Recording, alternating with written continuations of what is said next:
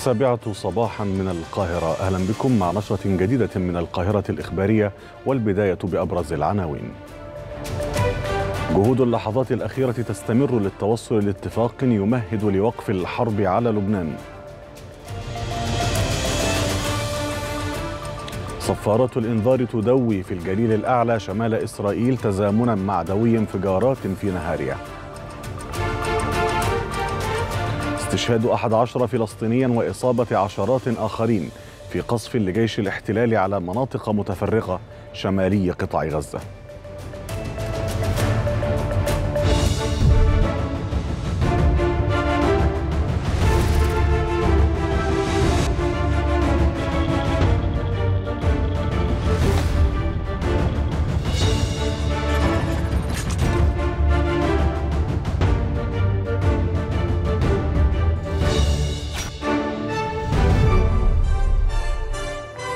البداية مع تطورات الأوضاع في لبنان.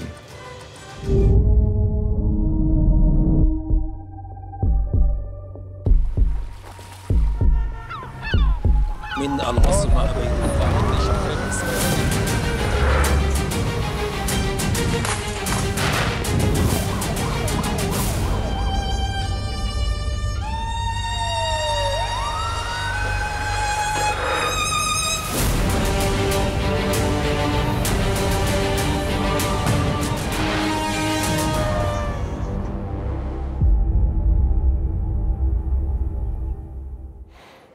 قال متحدث باسم رئيس الوزراء الإسرائيلي بنيامين نتنياهو إن الحكومة ستصوت اليوم على الاتفاق المقترح بشأن لبنان. يأتي هذا فيما كشف مسؤول أمريكي لموقع أكسيوس أنه من المتوقع أن يوافق مجلس الوزراء الأمني الإسرائيلي على اتفاق وقف إطلاق النار في لبنان.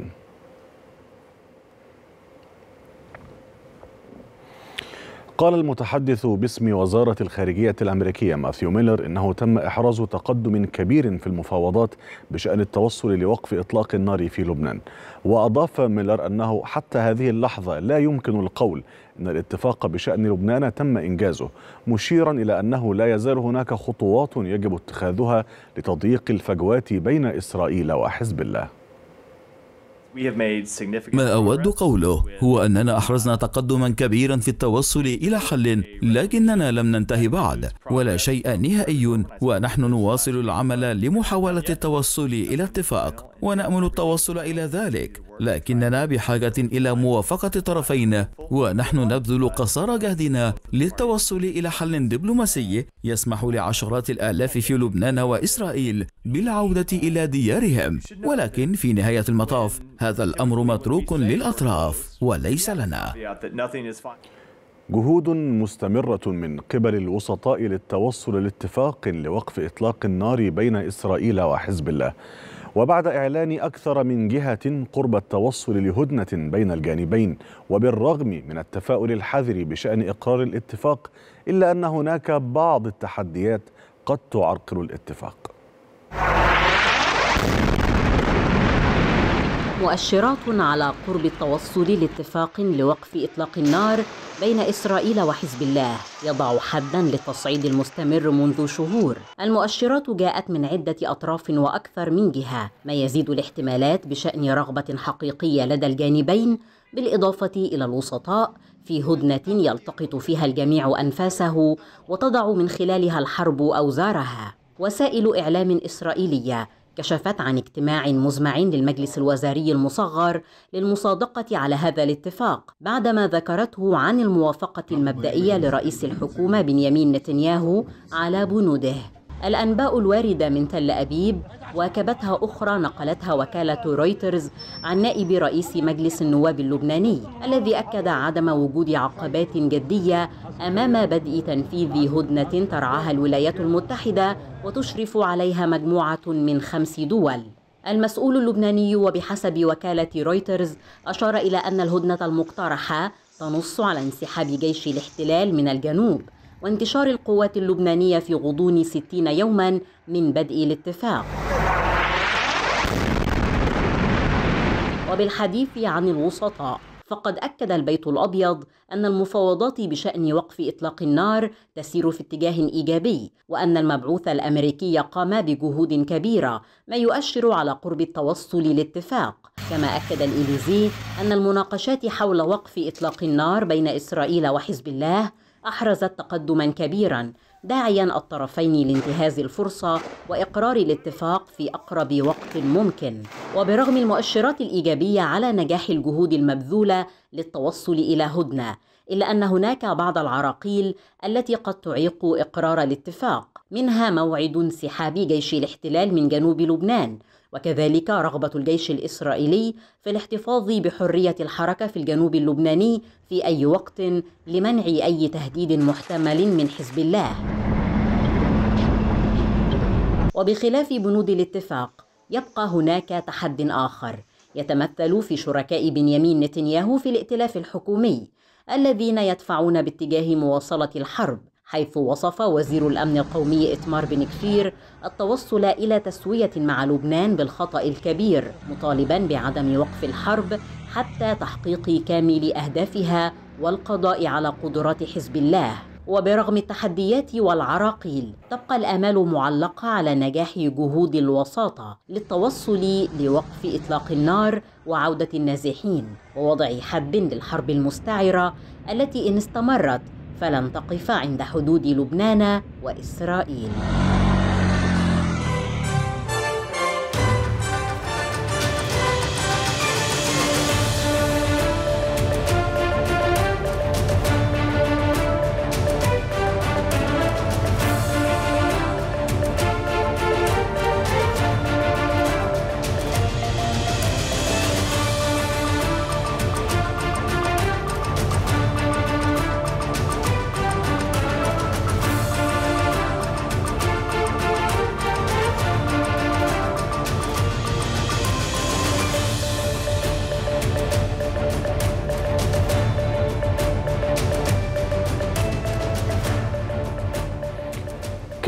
وزير الخارجية اللبناني عبد الله بوحبيب قد شدد على استعداد بلاده لتنفيذ بنود القرار الدولي 1701 وربط بوحبيب في كلمة أمام منتدى حوارات روما المتوسطي بين تنفيذ القرار وتعزيز الاستقرار بالمنطقة.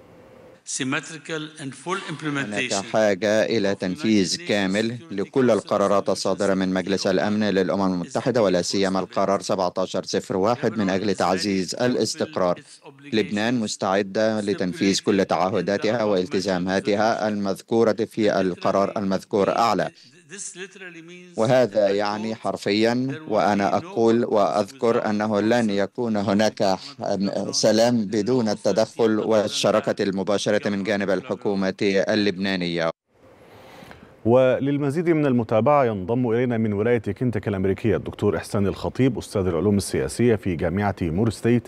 أهلا بك دكتور إحسان معنا ويعني على ذكر هذه البنود المتعلقة بالمقترح الأمريكي لوقف إطلاق النار كان من ضمن البنود الأساسية أن ينسحب حزب الله من الجنوب اللبناني وحتى شمال نهر الليطاني وأن يحل محله كل من قوات يونيفيل وكذلك الجيش اللبناني. لكن على مدار الأيام الماضية شهدنا استهدافا متكررا لقوات يونيفيل شهدنا كذلك استهداف للقواعد العسكرية التابعة للجيش اللبناني وكذلك استشهاد بعض عناصرهم هناك أيضا.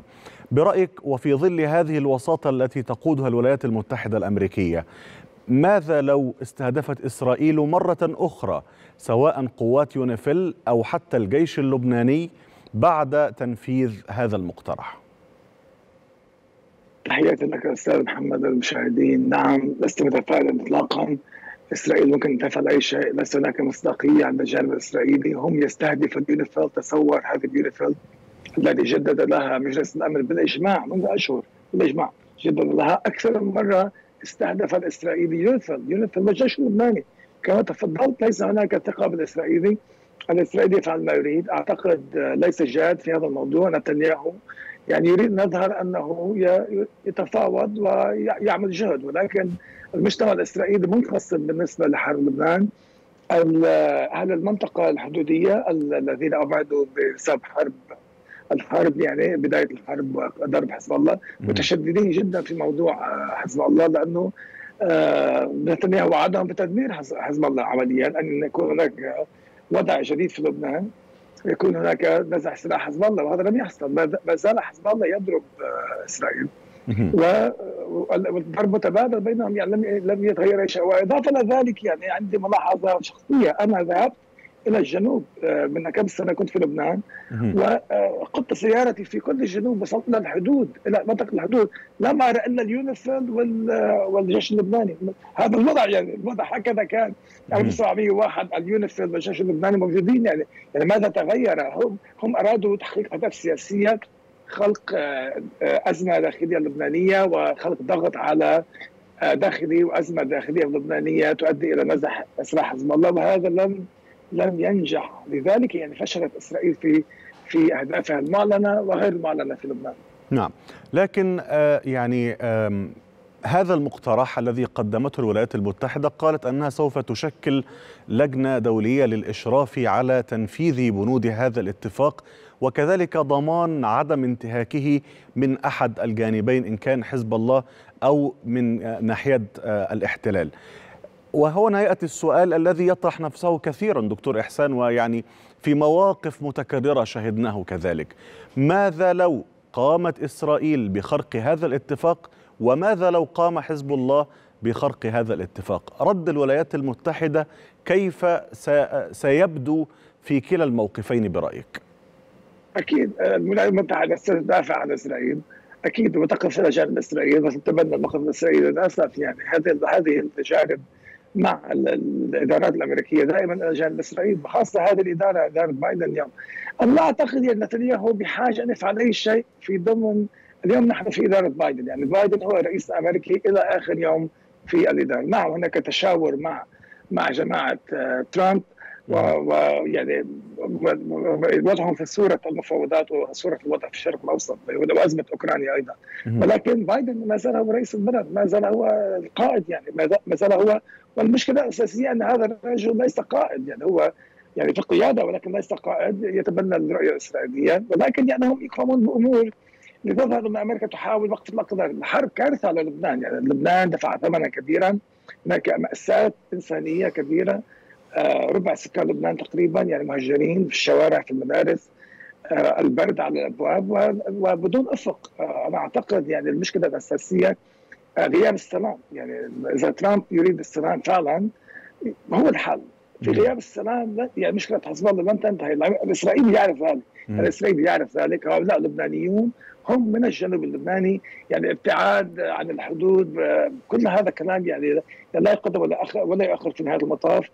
الإسرائيلي يماطل. أنا لا أثق بحكومة نتنياهو نتنياهو آه ليس جاد في وقف إطلاق النار يعني لا يرى سبب لوقف إطلاق النار الشعب الإسرائيلي منقسم حول لبنان والمتشددين هم الذين يعني عندهم الحماسة في موضوع لبنان أكثر من الآخرين. لذلك يعني لست متفائلا اطلاقا ربما يكون اطلاق نار وقف إطلاق النار مؤقت مثل باز بيسموه بالامريكان باز هيك وقف إطلاق النار مؤقت. ولكن الأمور ما زالت يعني علامات استفهام حولها ونتنياهو لم يتبنى أي موقف علني بالموضوع. لم يقل أي شيء. نعم. وربما يعني دكتور إحسان ربما تابعت معنا هذه اللقطات التي عرضها الزملاء منذ قليل والتي كانت تبرز بشكل واضح تصاعد للأدخنة وكذلك دمار لبعض البنايات بشكل علني في الجنوب من في الضاحية. ها هو نعم الزملاء الآن يعرضون هذه المشاهد مرة أخرى في الضاحية الجنوبية من بيروت. برأيك دكتور إحسان هذه المشاهد المؤلمة هل ربما نشهد لها توقفا قريبا؟ هل تثق أنه ربما تنجح هذه الورقة الأمريكية؟ لست متفائلا ولكن ربما ربما ربما ولكن لست متفائلا. ليس هناك أي سبب. في هذه الحكومة اليمينية المتطرفة المدفوعة بعقيده دينيه عندها انجاهيه يعني لما هؤلاء الناس يدمروا القرى يدمر القرى يدمر بيوت الناس. ويزرع العلم هل تريد حضرتك أن تقول أن استهداف هل تريد حضرتك أن تقول أن استهداف مدينة صور له أسباب دينية؟ عدة أسباب. يعني هناك حكومة مدفوعة بعقيدة دينية عزيزي. هم عندهم يعني هم يقولوا يعني عندهم أسباب دينية صهيونية في هذه الحرب. لا. حتى إنه عندهم أطماع على أساس إنه هذه جزء من من الأرض التي أعطاهم الله الله لها يعني. فعندنا مشكلة كبيرة في وغياب القيادة هو يعني. نعود مثلا إذا إلى حرب 2006 مثلا. كان نعم. هناك موقف حازم من جورج بوش الإبن أوقف الحرب.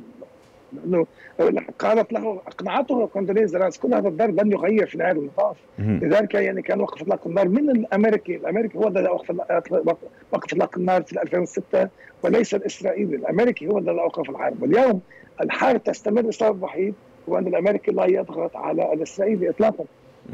نعم.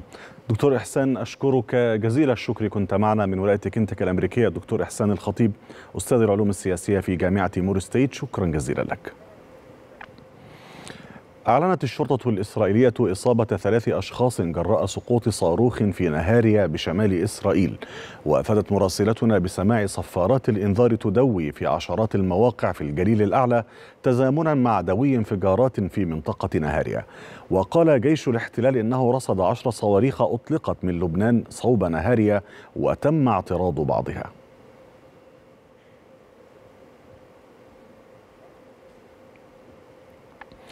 أعلن حزب الله أنه استهدف موقعا لجنود الاحتلال بمسيرة انقضاضية في مستوطنة كابري شرقي نهاريا شمال إسرائيل.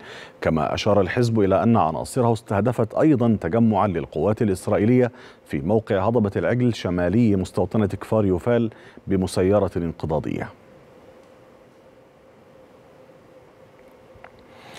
كان حزب الله قد أطلق 350 صاروخا في يوم واحد تجاه إسرائيل بينها 17 على نحو تل أبيب بما دفع نحو أربعة ملايين مستوطن للدخول إلى الملاجئ.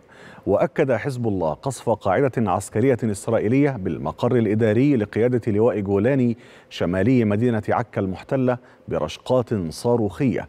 كما أشار حزب الله إلى استهداف تجمع لقوات الاحتلال في مستوطنة ميرون بالجليل الأعلى برشقة صاروخية.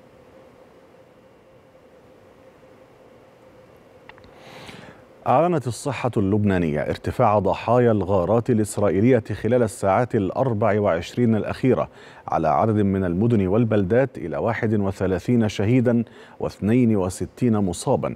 وأوضح مركز عمليات طوارئ الصحة العامة أن غالبية الغارات تركزت على محافظة صور وبلاتها حيث سقط فيها نحو 22 شهيدا.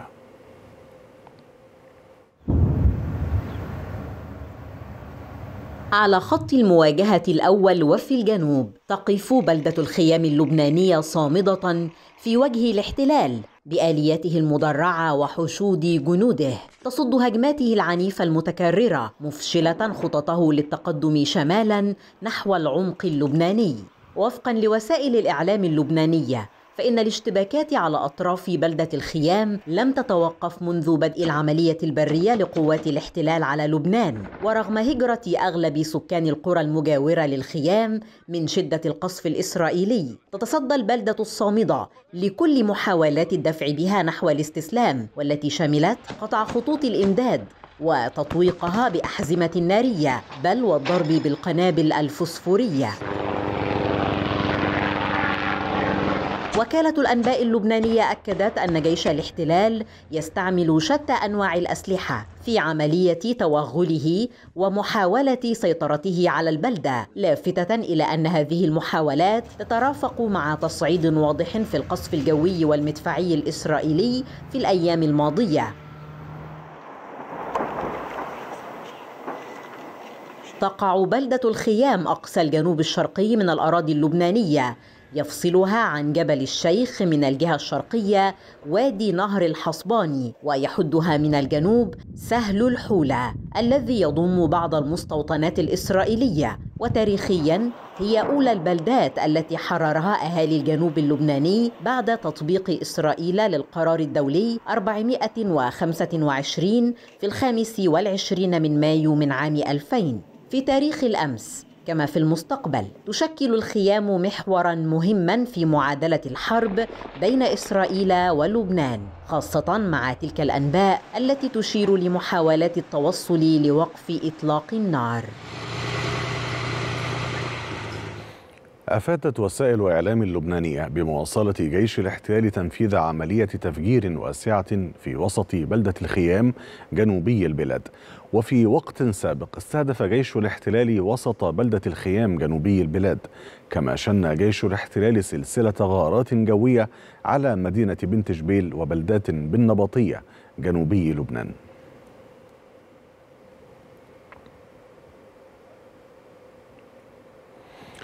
والآن مع تطورات العدوان الإسرائيلي على قطاع غزة. قطاع غزة في حالة هستيرية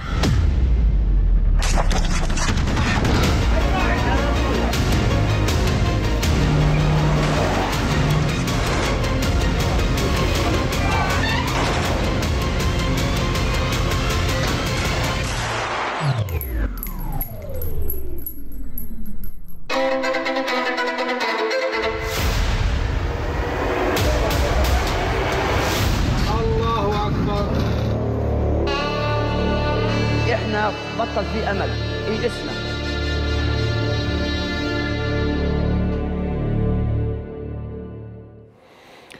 استشهد أحد عشر فلسطينيا وأصيب عشرات آخرون في قصف شنته طائرات الاحتلال الإسرائيلي ومدفعيته على مناطق متفرقة شمالي قطاع غزة. وأوضحت مصادر محلية باستشهاد ستة فلسطينيين جراء قصف الاحتلال منزلا بمنطقة الزرقاء في حي التفاح شمال شرق مدينة غزة. وأضافت أن خمسة فلسطينيين آخرين استشهدوا في قصف لقوات الاحتلال على حي الزيتون شمالي القطاع. أفادت وسائل إعلام فلسطينية بأن جيش الاحتلال يقوم بنسف منازل سكنية في مخيم جباليا شمال غزة كما استهدف الاحتلال بالقصف المدفعي المتواصل منطقة تل الهوى جنوب مدينة غزة وعلى مناطق شمال المخيم النصيرات والبريج ووسط القطاع. وفي حي الجنينة شرق رفح الفلسطينية جنوبي القطاع. أعلنت وزارة الصحة الفلسطينية ارتكاب قوات الاحتلال مجزرتين بمناطق متفرقة بقطاع غزة. راح ضحيتها 24 شهيدا و71 مصابا خلال الساعات الأربع وعشرين الماضية. وفي بيان لها أكدت الصحة الفلسطينية ارتفاع عدد ضحايا العدوان الإسرائيلي على قطاع غزة إلى 44235 شهيدا. و104638 مصابا منذ السابع من أكتوبر من العام الماضي مشيرة إلى أنه لا يزال عدد من الضحايا تحت الركام وفي الطرقات لا تستطيع طواقم الإسعاف والدفاع المدني الوصول إليهم. نقلت صحيفة فاينانشال تايمز عن مسؤولي مساعدات قولهم إن أمطار الشتاء تهدد بطوفان من مياه الصرف الصحي يجتاح خيام مئات آلاف النازحين في قطاع غزة. ونقلت الصحيفة عن متحدثة باسم وكالة أونروا قولها إن نصف مليون شخص بغزة معرضون لخطر الفيضانات بمجرد هطول المطر. في خيام مهترئة عانى أهالي غزة وجلهم نازحون من صيف حارق وأشعة شمس. لم تستطع قطع القماش البالية أن تحجبها. وفي الخيام نفسها والتي ربما صارت أقل نفعا بدأ الغزيون يكابدون المعاناة بشكل عكسي. برد قارس ومطر غزير وفيضانات محتملة. حل الشتاء وأكثر أهالي القطاع في العراء وفي خيام غير آدمية تكشف أكثر مما تستر حيث تم تدمير نحو 80% من البنية التحتية أو تضررها بشدة. الوضع الراهن يجعل الجميع خاصة الأطفال وكبار السن عرضة لأمراض الجهاز التنفسي وغيرها مما يتطلب مزيدا من الاحتياجات الطبية للأشخاص الذين يعيشون في هذه الظروف اللا إنسانية. والجميع يعلم عجز القطاع الطبي والمنظومة الصحية في القطاع. بالتوازي مع ذلك يعرقل الحصار المستمر الذي ينفذه الاحتلال وإغلاقه المعابر الاستجابة الإنسانية بما يحد من دخول الموارد الأساسية بما في ذلك مواد الشتاء والوقود وغيرها. مسؤولون فلسطينيون في الدفاع المدني والصحة حذروا من أن يؤدي الطقس البارد والأمطار والفيضانات إلى تفاقم انعدام الأمن الغذائي وسوء التغذية خاصة في المناطق المكتظة بالسكان وقرب سواحل القطاع. وهكذا بكثير من الخوف واليأس وقليل من الرجاء يواجه سكان غزة الجريحة شتاء جديدا متسائلين عما إذا كان هذا الفصل يحمل مزيدا من الألم. أم أن في الأفق بصيصا من الأمل قد يخفف عنهم وطأة البرد والجوع. حذرت وكالة أونروا من أن أكثر من مليوني نازح في قطاع غزة يحاصرهم الجوع والعطش والمرض بسبب تعنت الاحتلال في إدخال المساعدات إلى القطاع. وأشارت الوكالة الأممية إلى أن ما يسمح الاحتلال الإسرائيلي بإدخاله عبر المعابر لا يلبي ستة بالمئة من احتياجات السكان في القطاع. عام ويزيد من العدوان على قطاع غزة باتت معه الحياة في القطاع شبه مستحيلة. فالقصف والدمار والجوع والحصار هي أبرز ملامح حرب الإبادة الإسرائيلية على سكان غزة. ومع تواصل الحصار المفروض على القطاع توالت التحذيرات من تفاقم الأوضاع الإنسانية بينما تواصل معها تجاهل الاحتلال للمناشدة الدولية المتكررة بالسماح بإدخال المساعدات وإغاثة السكان. وبالحديث عن الإغاثة فقد أكدت وكالة غوث وتشغيل اللاجئين الفلسطينيين أونروا أن ما يسمح الاحتلال بإدخاله عبر المعابر من الدقيق والمواد الغذائية لا يلبي 6% من حاجة السكان. إذا وباعتراف الأونروا فإن أقل من عشر ما يحتاجه السكان هو ما يتم إدخاله فقط. الأمر الذي تسبب بأزمة حادة في الحصول على الخبز حيث تم إغلاق معظم المخابز جنوبي القطاع بسبب عدم وجود الدقيق. الوكالة الأممية حذرت أيضا من أن أكثر من مليوني نازح في قطاع غزة يحاصرهم الجوع والعطش والمرض مشيرة إلى أن الحصول على وجبة طعام أصبح مهمة مستحيلة بالنسبة للعائلات في القطاع. المآسي التي يعانيها سكان غزة لم تقف عند هذا الحد بحسب الأونروا. التي أشارت أيضا إلى أن الأوضاع في خيام النزوح ومراكز الإيواء مأساوية في ظل الجوع والبرد وعدم قدرة المنظمات الدولية على تلبية حاجات أولئك النازحين. تحذيرات الأونروا جاءت كعادتها مصحوبة بمناشدات ومطالبات للسماح بفتح كامل للمعابر وإدخال ما يحتاجه السكان للحد من المجاعة التي خيم شبحها على بعض المناطق خاصة في الشمال. ومع استمرار الأزمة يتساءل سكان غزة عن مدى استجابة الاحتلال الإسرائيلي لهذه المناشدات واهتمامه بتلك التحذيرات. بينما يبحثون عن موقف دولي يغيثهم من بطش الاحتلال وحصاره. أفادت وسائل إعلام إسرائيلية نقلا عن عائلات الجنود أنهم فقدوا الثقة في حكومة رئيس الوزراء بنيامين نتنياهو. واتهمت عائلات الجنود الإسرائيليين نتنياهو بإرسال أبنائهم إلى الحرب من أجل تحقيق مصالحه السياسية مطالبين بضرورة إنهاء الحرب والتوصل إلى صفقة تبادل. يأتي ذلك فيما أفادت مراسلتنا بأن أهالي المحتجزين الإسرائيليين خرجوا للتظاهر في تل أبيب للمطالبة بإنهاء الحرب. والتوصل إلى صفقة تضمن إطلاق سراح ذويهم.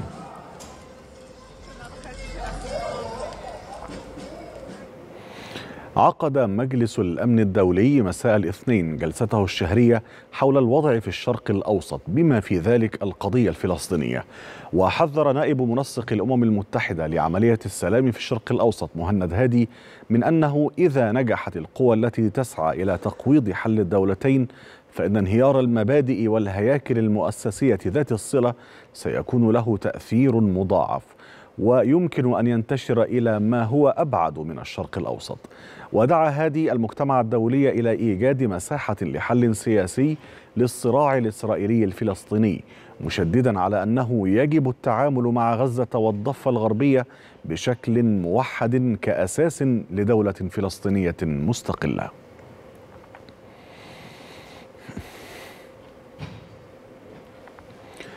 في تقرير صدر عن المؤتمر الوطني الشعبي للقدس أجمع خبراء ومسؤولون أن هدف الاحتلال الإسرائيلي من مخططات ضم الضفة الغربية هو قتل أي أفق للسلام ومنع إقامة دولة فلسطينية على حدود الرابع من يونيو لعام 1967 وفقا للقانون الدولي ومبادرة السلام العربية وقرارات الشرعية الدولية ذات الصلة.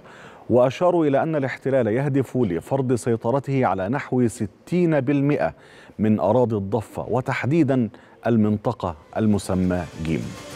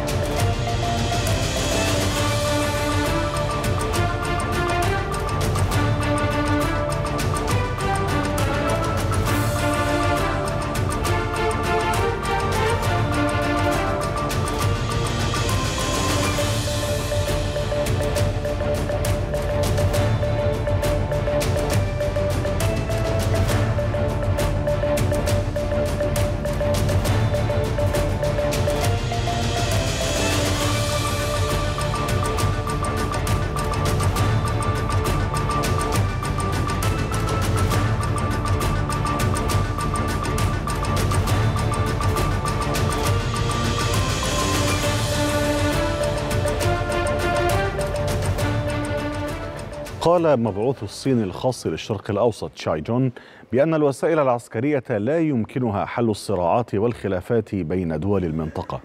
وأشار إلى أن الصين تشعر بقلق كبير إزاء التصعيد المستمر للوضع في الشرق الأوسط.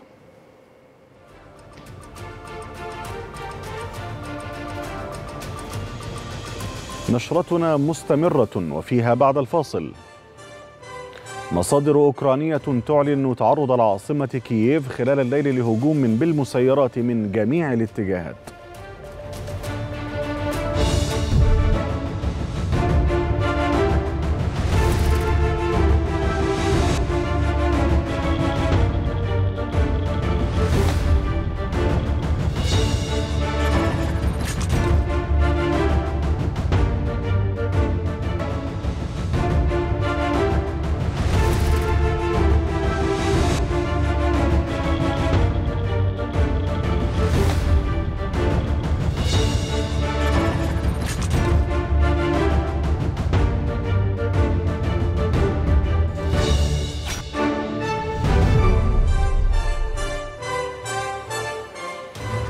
بكم من جديد والآن مع تطورات الأوضاع في أوكرانيا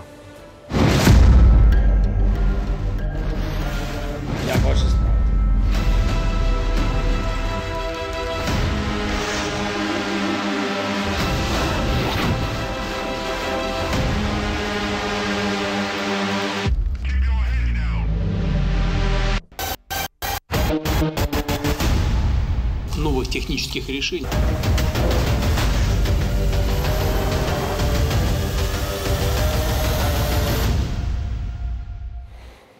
أفاد مراسلنا بسماع دوي انفجارات في العاصمة الأوكرانية كييف وأشار أيضا بسماع دوي انفجار في مدينة ترنوبل غربي الأراضي الأوكرانية. فيما أعلن عمدة كييف فيتالي كوليتشكو بوقوع هجوم بالمسيرات على كييف من جميع الاتجاهات. فيما تصدت قوات الدفاع الجوي الأوكراني لقدوم المسيرات في مناطق مختلفة من المدينة. أسقطت القوات الروسية ثمانية صواريخ باليستية أطلقتها أوكرانيا خلال الساعات الأربع وعشرين الماضية. وأضافت وزارة الدفاع الروسية أن قوات الدفاع الجوي أسقطت أيضا ست قنابل جوية موجهة من طراز جي دي اي إم أمريكية الصنع بالإضافة إلى 84 طائرة مسيرة خلال الساعات الأربع وعشرين الماضية. قال الرئيس الأوكراني فلاديمير زيلينسكي إن حلفاء أوكرانيا الغربيين سيواصلون توجيه الضربات لروسيا. ووصف زيلينسكي العقوبات التي فرضتها بريطانيا على أسطول الظل الروسي بالخطوة المهمة. سنرد بالتأكيد على روسيا. ومن المهم ألا تظل مثل هذه الضربات دون رد مناسب. واليوم هناك قرار جديد من جانب بريطانيا بشأن فرض عقوبات على أسطول الظل الروسي. وهذه خطوة مهمة وسيكون من الصواب أن يدعمها الشركاء الأوروبيون. فكلما قلت أرباح روسيا الهائلة من النفط تقلصت فرصها في شن الحرب. كشف نائب وزير الخارجية الروسي عن أن موسكو تدرس نشر صواريخ متوسطة وقصيرة المدى في آسيا حال نشر صواريخ أمريكية هناك. وأضاف نائب وزير الخارجية الروسي أن مذكرة التفاهم الروسية الأمريكية بشأن الإخطار بإطلاق الصواريخ لا تزال سارية غير أنه قال في الوقت نفسه أنه لا قيود على نشر أنظمة أوريشنيك الروسية الجديدة متوسطة المدى وفقا للالتزامات الدولية القائمة. الأزمة الأوكرانية تتسع على وقع الجدل حول استخدام صواريخ باليستية بين الجانبين الروسي والأوكراني. بدأت بتصريحات واشنطن لإعطاء الضوء الأخضر لكييف باستخدام صواريخ طويلة المدى تصل للعمق الروسي وهو الأمر الذي حدا بالجانب الروسي للإعلان عن الصاروخ البالستي أوريشنيك. رئيس مجلس الأمن الروسي ديمتري ميدفيديف قال إن الصاروخ البالستي أوريشنيك يمكنه إلحاق أضرار بالغة بالعواصم الغربية خلال دقائق محذرا من عدم القدرة على إسقاطه بالوسائل الحديثة. لكن على الجانب الآخر كشفت الاستخبارات الأوكرانية عن حطام قالت إنه يعود إلى صاروخ روسيا البالستي أوريشنيك وكانت موسكو قد استخدمت هذا الصاروخ لأول مرة منذ بدء الحرب لقصف موقع عسكري في وسط أوكرانيا قبل أيام. وفي السياق ذاته دعا الرئيس الأوكراني فلوديمير زيلينسكي إلى تعزيز دفاعات بلاده الجوية مؤكدا أن بلاده ليست أرضا لتجربة الأسلحة. وربما يحمل ذلك انعكاسا على الوضع الميداني الذي أقر فيه زيلينسكي بتكبد أوكرانيا خسائر فادحة جراء الهجمات الروسية خلال الفترة الأخيرة. حيث رصدت القوات الأوكرانية عشر مسيرات روسية متجهة نحو العاصمة كييف وذلك عقب الإعلان عن إصابة مبنى مكون من تسع طوابق بقذيفة روسية ما أدى إلى اندلاع حريق في إحدى شرفاته. كما أفادت وسائل إعلام أوكرانية بوقوع انفجارات في مقاطعة ميكولايف جنوبي البلاد وسط إعلان حالة التأهب الجوي. على الجانب الروسي. أعلنت وسائل إعلام روسية إسقاط سبع مسيرات أوكرانية في مقاطعة بريانسك دون وقوع إصابات. يأتي هذا بينما أعلن حاكم مقاطعة كالوغا الروسية تدمير ثلاث طائرات مسيرة أوكرانية بضواحي المقاطعة غرب العاصمة موسكو دون وقوع إصابات. وأضاف أن حطام الطائرات الثلاثة أسفر عن اندلاع حريق في أراضي مؤسسة صناعية وبين المستوى السياسي والمستوى الميداني تبقى جبهات القتال بين روسيا وأوكرانيا مفتوحة لاستقبال مزيد من التصعيد على خط التصريحات بين الجانبين ومد وجزر على خطوط القتال تنتظر صافرة النهاية. أعلن المتحدث باسم البيت الأبيض أن الرئيس الأمريكي جو بايدن والسيدة الأولى جيل بايدن سيحضران حفل تنصيب الرئيس المنتخب دونالد ترامب في يناير القادم. وقال نائب المتحدث باسم البيت الأبيض أندرو بيتس بأن الرئيس وعد بحضور تنصيب من سيفوز بالانتخابات وسيفي هو والسيدة الأولى بهذا الوعد وسيحضران التنصيب. أطلق المستشار الألماني أولاف شولتز حملة انتخابية بعدما اختاره الحزب الاشتراكي الديمقراطي في ألمانيا رسميا مرشحا له للانتخابات المبكرة المقررة في فبراير عام 2025 وتبدو المهمة صعبة للحزب الاشتراكي الديمقراطي إذ أظهرت استطلاعات الرأي حصوله على حوالي 14% فقط من نوايا التصويت. في وقت عصيب تتأرجح فيه السياسة الألمانية بين التحديات الداخلية والانقسامات الحزبية. يبرز الحزب الاشتراكي الديمقراطي الاجتماعي كطرف أساسي في معركة البقاء على الساحة السياسية.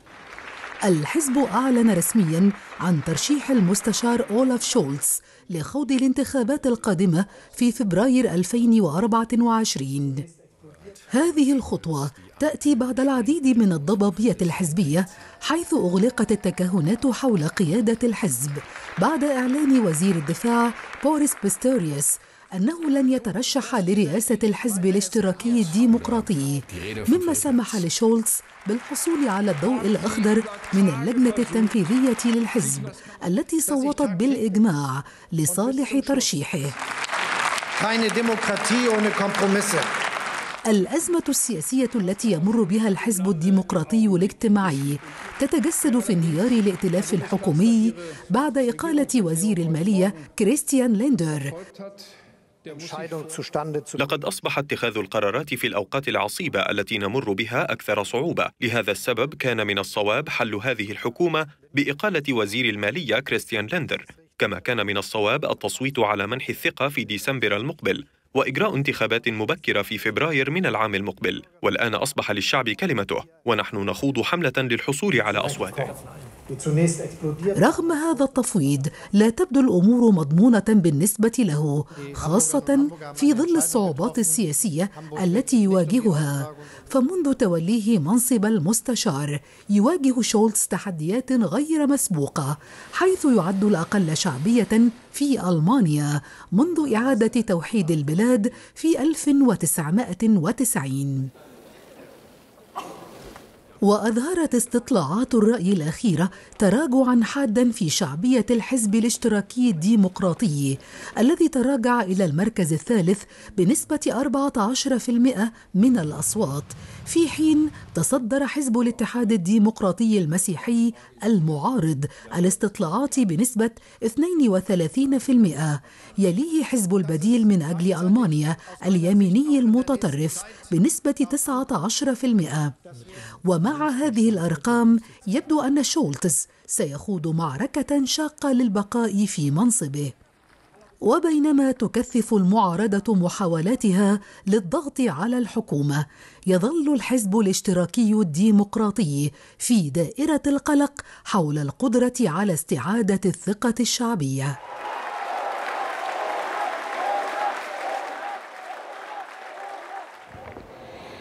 وفي أخبارنا الاقتصادية نتابع. رئيس البنك المركزي الألماني يرجح دخول اقتصاد بلاده في ركود بالربع الأخير من العام الجاري.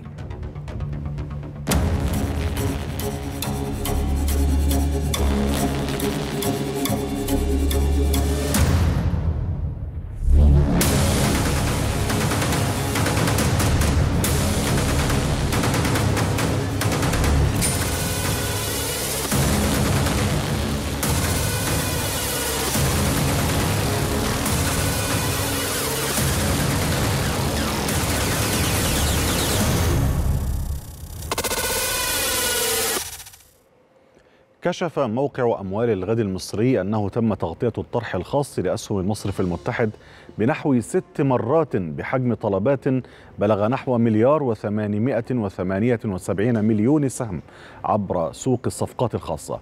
كان المصرف المتحد قد أعلن فتح سوق الصفقات الخاصة لتسجيل أوامر البيع والشراء من خلال الطرح الخاص اعتبارا من الأربعاء 20 نوفمبر وحتى يوم الخامس والعشرين من نوفمبر للشهر الجاري. ووافقت الهيئة العامة للرقابة المالية على نشر الطرح العام والخاص لأسهم المصرف المتحد بالبورصة المصرية لعدد 330 مليون سهم بنسبة 30% من أسهم رأس الشركة المصدرة.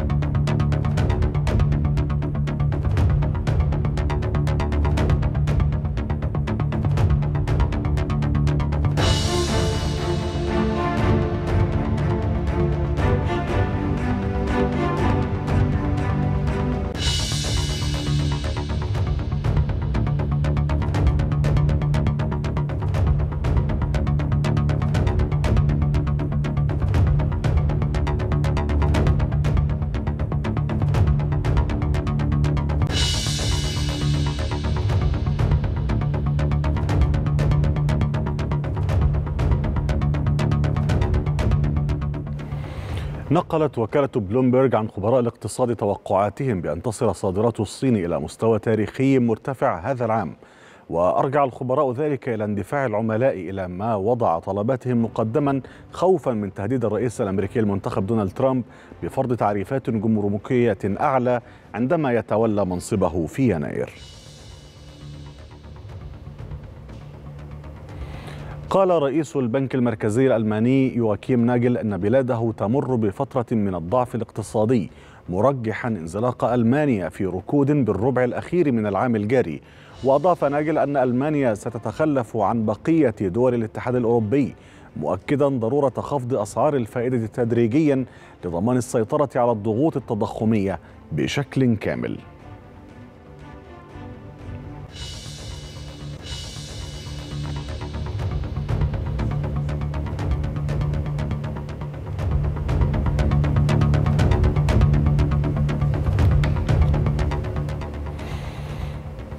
وفي أخبارنا الرياضية نتابع.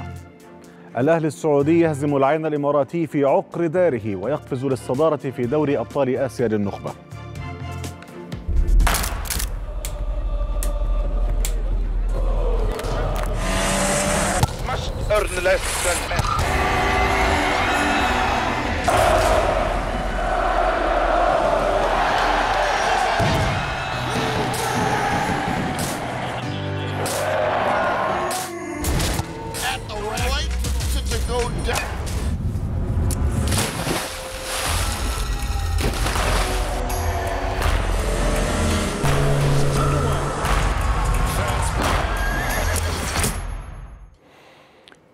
اقتنص الأهلي السعودي فوزا ثمينا على مضيفه العين الإماراتي بهدفين مقابل هدف على ملعب هزاع بن زايد في دوري أبطال آسيا للنخبة. وتكفل البديل الإنجليزي إيفان توني بتسجيل هدفي الأهلي في غضون أربع دقائق عند دقيقتين 70 و 74 وقلص البديل الآخر كاكاو النتيجة بهدف معنوي لأصحاب الأرض في الوقت المحتسب بدلا من الضائع للشوط الثاني. الفوز هو الخامس على التوالي للأهلي محققا العلامة الكاملة ليعتلي قمة ترتيب فرق الغرب مؤقتا برصيد 15 نقطة. تعود منافسات دوري أبطال أوروبا للواجهة من جديد بعد فترة التوقف الدولي للمنتخبات حيث تنطلق الجولة الخامسة من المسابقة الأكبر أوروبيا للأندية. وتشهد الجولة عدة مواجهات مثيرة في يومها الأول أبرزها بايرن ميونخ ضد باريس سان جيرمان وبرشلونة أمام بريست.